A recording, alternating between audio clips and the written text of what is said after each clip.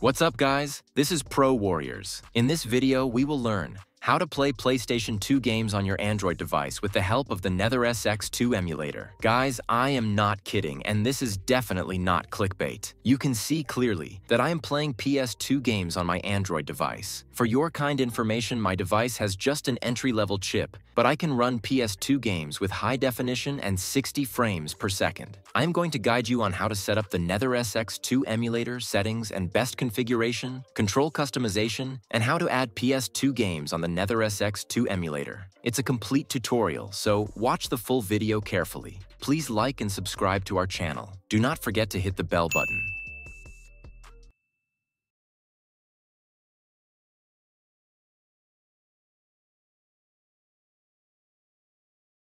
Nether SX2 emulator is a modified version of AetherSX2. Unfortunately, AetherSX2 is no longer accessible, so you can utilize Nether SX2, a stable application that can turn Android devices into PS2 consoles. It features enhanced performance and compatibility. Nether SX2 is available for download on GitHub and includes features such as configurable visual settings, support for several input ways, use externality, cheats, and more. Before we are going to install the Nether SX2, please have a look at what we need to run the Nether SX2 emulator. We need a total of three elements, Nether SX2 emulator herself, PlayStation 2 BIOS file, and game files that you already owned legally. You can see I have already managed these elements, and I recommend you at first create a folder in the internal storage of your phone and give it a name like PS2 and then move all the files.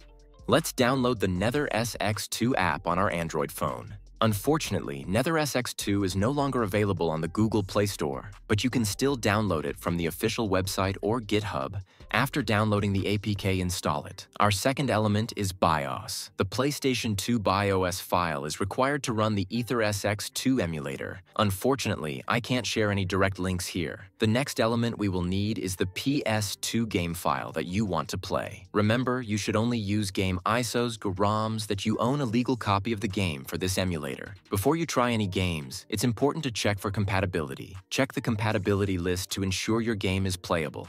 Make sure your games are in supported formats like ISO, CHD, and BIN. Now let's launch the app. We're going to see a welcome screen from this emulator. Just click on the next button and the next page is just going to give us some disclaimers and instructions. If you have time, you can read or click the next button. Now we are going to see the settings page. If your device is high configuration, at least Snapdragon 845, then you should select Optimal slash Safe Default.